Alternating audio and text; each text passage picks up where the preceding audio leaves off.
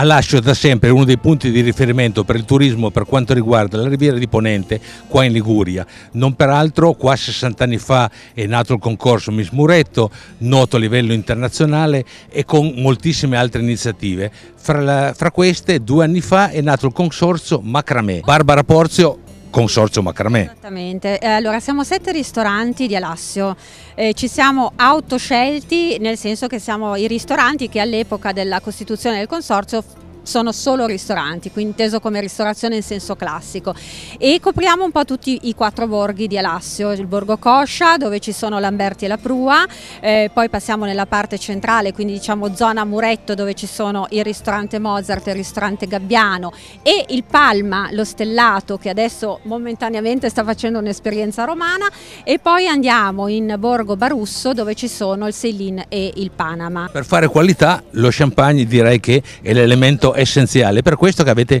inventato questa manifestazione, un mare di champagne, coinvolgendo un mare di maison francesi, quante? L'anno scorso è stata una scommessa, no? noi siamo ristoratori quindi non è che abbiamo una grandissima esperienza appunto di gestione di un evento, però L'anno scorso già è stato un successo in, immenso, comunque inaspettato perché abbiamo eh, avuto l'adesione di 42 maison di champagne, eh, oltre 85 etichette in degustazione.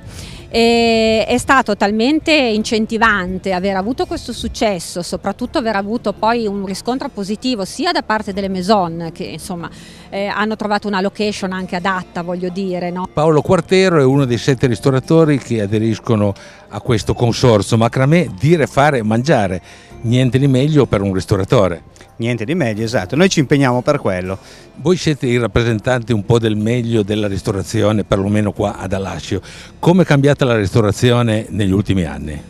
Beh, la ristorazione è cambiata molto, noi mm, non ci consideriamo il meglio perché sa, non, non, non, si può fare questo, diciamo che noi cerchiamo di dare prodotti di prima qualità e prodotti del territorio, sempre, questo è lo spirito che ci accompagna. La ristorazione ha sicuramente in questo periodo attraversato un momento difficile, legato anche alla spesa, però diciamo che noi siamo sempre riusciti a mantenere alto il livello.